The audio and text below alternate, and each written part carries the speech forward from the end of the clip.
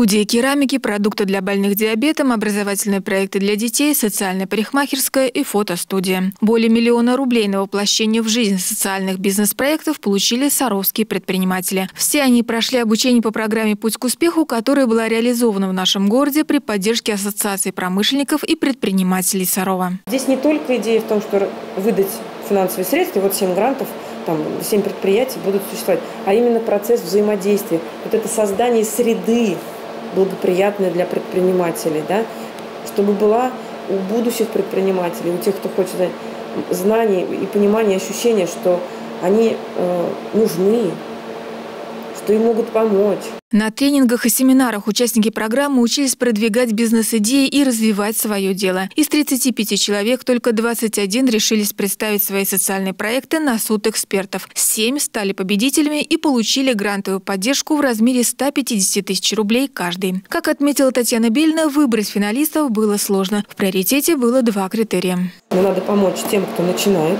бизнес, да, какой-то стартовый капитал дать, и тем, кто уже ведет свой бизнес.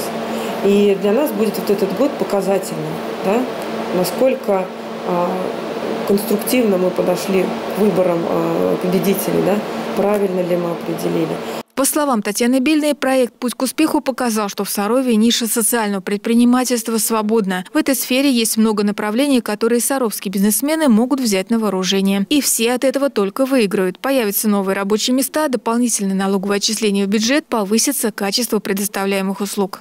Для себя я ставлю основным критерием, чтобы все семь проектов, которые были заявлены, э, не потерпели фиаско, да, и были реализованы за этот год, и действительно стартовали, и были освоены целевым образом эти гранты, а, что ребята вы достигли и выполнили все целевые индикаторы, которые будут включены в договора.